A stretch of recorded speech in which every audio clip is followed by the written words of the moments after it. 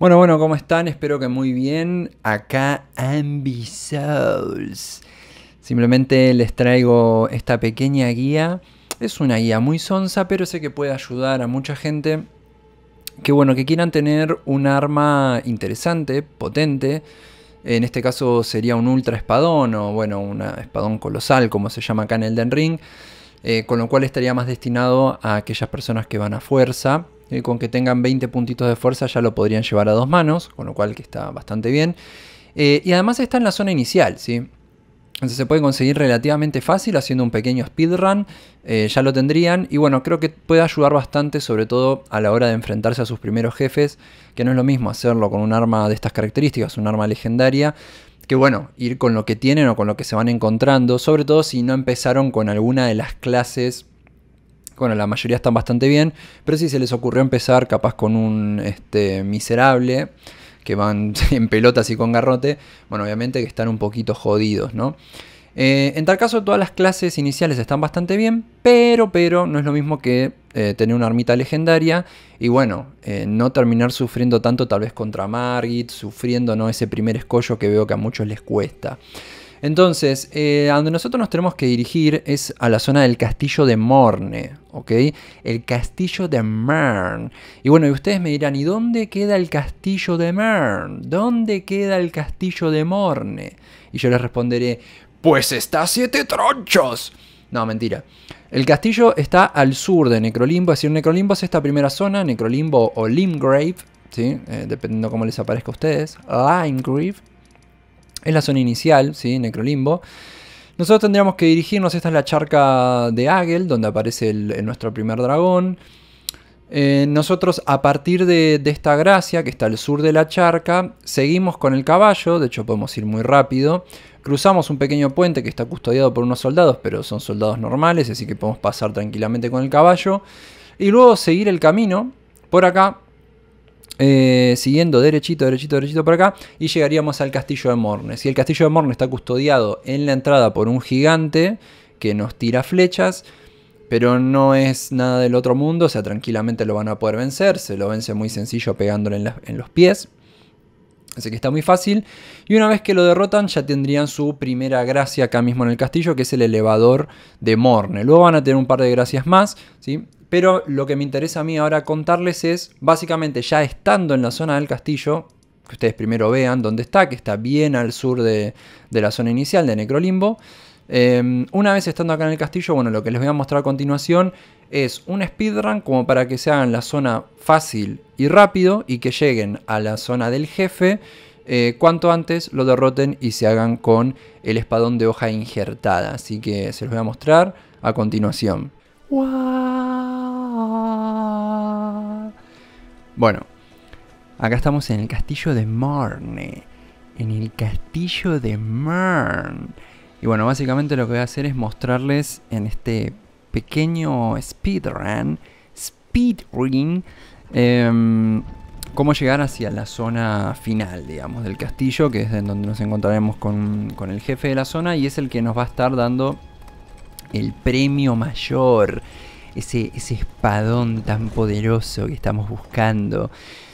Básicamente lo, interesante de esto es una zona, la verdad, sencilla de hacer, o sea, se puede hacer tranquilamente, con, con paciencia, digamos, si ustedes están recién empezando el juego, eh, explorando la zona inicial, digamos, lo pueden hacer tranquilamente, porque, digamos, el nivel de dificultad que van a encontrar es el mismo que van a tener en la zona inicial de Necrolimbo, de, o de Limgrave, de Limegrave, dependiendo ahí cómo, tengan la traducción ustedes, ¿no? Pero bueno, o sea, es bastante sencillo, pero digamos si únicamente lo que les interesa es ir a por ese ultra espadón, o sea, es ese espadón colosal que les voy a mostrar a continuación. Bueno, esta sería como una, el recorrido que tendrían que hacer, pasando estos seres, y que son semi-humanos, demi-humans, ¿sí? Como ven, básicamente el recorrido es sencillito hasta que llegamos a esta zona en donde decimos, oh, no hay salida, no hay hacia dónde ir. Eh, bueno, si van por acá por la derecha, básicamente se tienen que lanzar hacia ahí abajo que, digamos que tendríamos la segunda gracia después de la que encontramos al inicio de la zona, ¿no?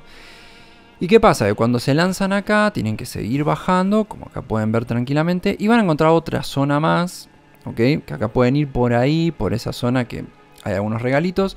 Pero yo voy a venir por este costado, fíjense que ahí abajo es donde tenemos que ir. Eh, voy a venir por acá al costado para mostrarles que justamente hay un regalito importante en este cuerpo, que es una espada, una llave de espada pétrea. ¿sí? También por esta zona van a encontrar una Claymore, que es una muy buena arma, un muy buen eh, espadón, en este caso no es una espada colosal, pero es un muy buen espadón, realmente es una muy buena arma, como para... Mm, bueno, tranquilamente pueden pasarse el juego con ese arma, sí, está muy bien. Entonces matamos a esos seres para que no nos molesten, saltamos acá, en este techito, bajamos acá mismo, ahí al costado tienen un escarabajito pelotero eh, para rellenar los frascos de, estos, bueno, en realidad serían los, viales, los viales de vida, ¿sí?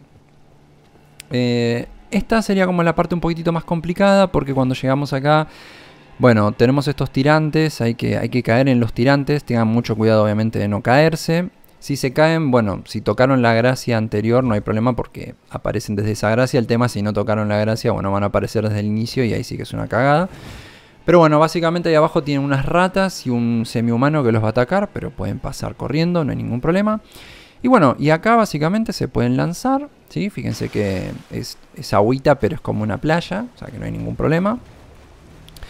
Y bueno, yo el jefe ya lo hice, pero eh, a continuación les voy a mostrar, acá mismo en la puerta del jefe, les voy a mostrar cómo es el combate.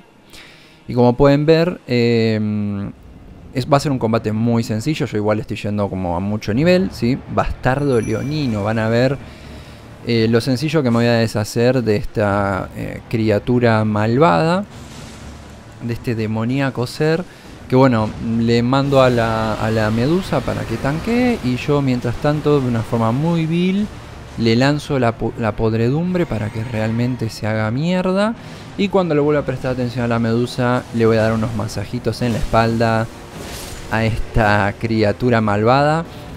Básicamente es muy sencillo pero eh, nada, y nos da el espadón de hoja injertada, que es lo que vinimos a buscar. Y acá se los muestro, ¿sí? Como se pueden, ver, en principio eh, escala en C con fuerza, necesita 40 de fuerza, pero con que tengan 20 ya lo pueden equipar a dos manos. La famosa espada del castillo de Morne, arma de vengador que carga con océanos de ira y arrepentimiento, una de las armas legendarias. Y em, la habilidad especial, la Weapon Art, que es el juramento de venganza, es una de las cosas que más nos interesan porque nos aumenta 5 puntos a cada una de las estadísticas durante un tiempo. Acá pueden ver un poquito cómo se ve la espada. Realmente está muy chula, ¿sí? Eh, luego pueden, leer ahí tranquilamente el resto del lore que tiene. Yo les leí como un poquito nada más. o pueden pausar el video y leerlo completo. Pero como pueden ver, el set de movimientos que tiene es el de un espadón colosal. Y ahí, como pueden ver, bueno, activo el Weapon Art y mientras dure ese aura verde, ¿sí? que dura bastante, la verdad, unos cuantos segundos, vamos a tener em, subidas nuestras estadísticas 5 puntos extra, además de aumentarnos el aplomo. ¿sí? O sea que esto nos puede servir en determinados momentos, dependiendo si queremos ir al principio de una batalla contra un jefe o en un momento determinado. Así que muchas gracias por verme y síganme en las redes y en traba.